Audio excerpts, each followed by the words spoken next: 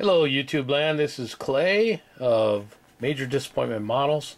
I know I'm a little late to the game, but I talked to Papa Dan, and uh, even though today is the 28th of March and the build ends the 31st, he said that uh, I could still join. Um, what I'm trying to do is trying to finish a model, and I have uh, a couple of months to get this done for our club.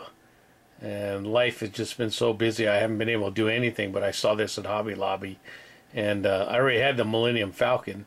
Uh, I wanted the Blockade Runner, so I picked it up. And as you can see, it's still new in the box. Um, I've already cut the plastic off the box, but you can see it's still in the plastic here. Bandai makes these really nice kits. I mean, you don't even have to use glue on them and you can paint them up and everything. So this one is the Millennium Falcon.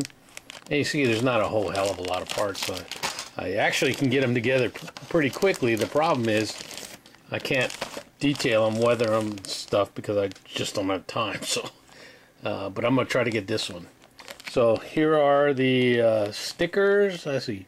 These might be the decals on this side. And then on the other side they usually have the stickers. So that's probably in there somewhere.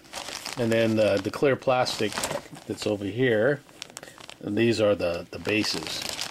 And you can see them a little better through here, right here. Okay, so this is the blockade runner, and you can see again, uh, it's not a whole hell of a lot of pieces. This is supposed to be a 1 in 1,000 scale, and the Millennium Falcon is a 1 in 350. So, okay, and Bandai, of course, they make their great instructions, all in Japanese, but, you know, if you can follow it, uh, they got some in English, but if you can follow the pictures, they're, they're really nice kits. I really like the way they go together. So here's all the sprues. And here are the instructions on how to build the kit.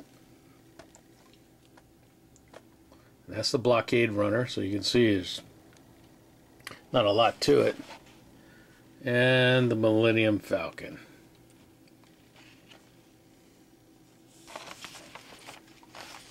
And then on the back, they have the callouts for the decals, what goes where. And then for the blockade runner.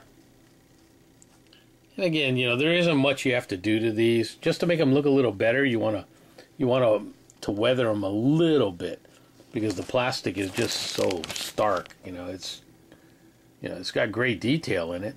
So if you weather it, you actually uh, can highlight it with dry brushing too. Some of this great detail in it, and it's unbelievable. You know, this. Let's see if I can find a ruler. Ugh.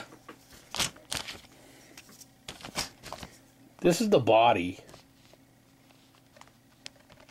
of the blockade runner, and it's only three inches long. See that? So it's really nice.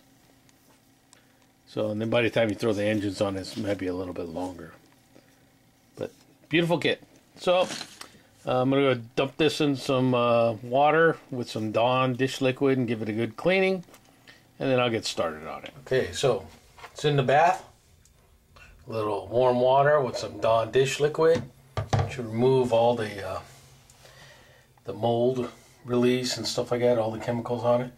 Uh, I don't find there's too much on Bandai. I don't know what kind of plastic they use and stuff, but but I do this with all my models. You hear guys will use uh, simple green, some other stuff, so not bad. This is a Dollar Trees brush, and you can see it's really soft, so you don't have to worry about using it on your fine detail. It won't break them or anything like that. So this, I've already brushed it, cleaned it. It's going to soak for about a minute or two, then I'm going to rinse it. Okay, be back. So here are the parts all drying out. And uh, before you guys panic, I always put one of them little um, drain screens that you can buy at the Dollar Tree store and some other places in the sink before I rinse the models out to catch all the little parts that might have bro broken off or might have been loose in a bag. Um, got none with this with Bandai though, so So let's take a closer look. It's still wet. But the detail, as small as these kits are, the detail in these Bandai kits is just unbelievable. So again, this is the sprue with the blockade runner on it.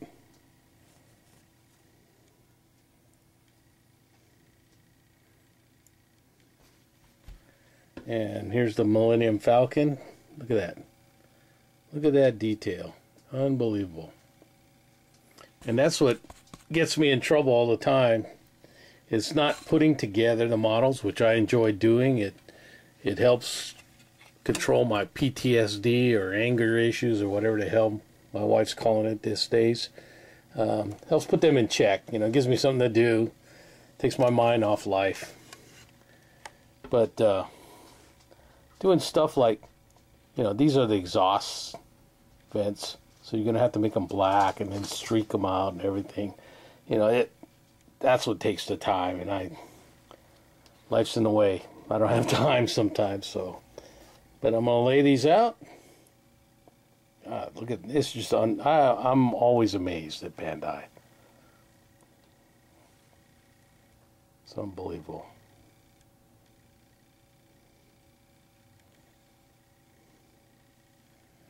So, but as you can see, not a lot of parts.